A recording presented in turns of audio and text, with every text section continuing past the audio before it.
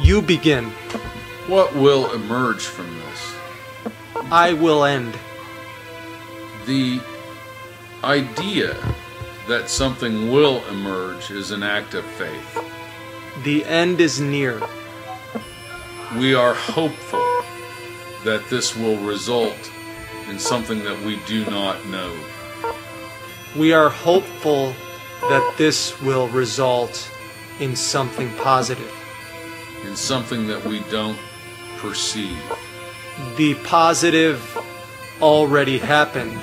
We are just not aware.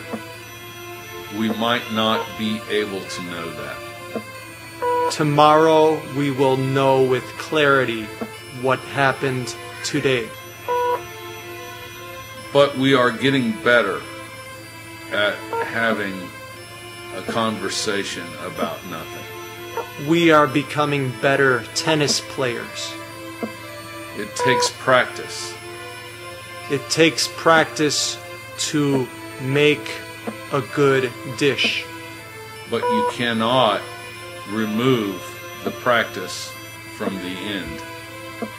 This all was necessary to get where we are going. But we don't know where that is.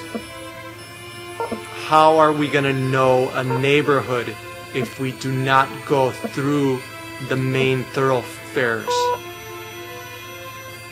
We only have 10. This is number 10. I believe we got where we were supposed to go.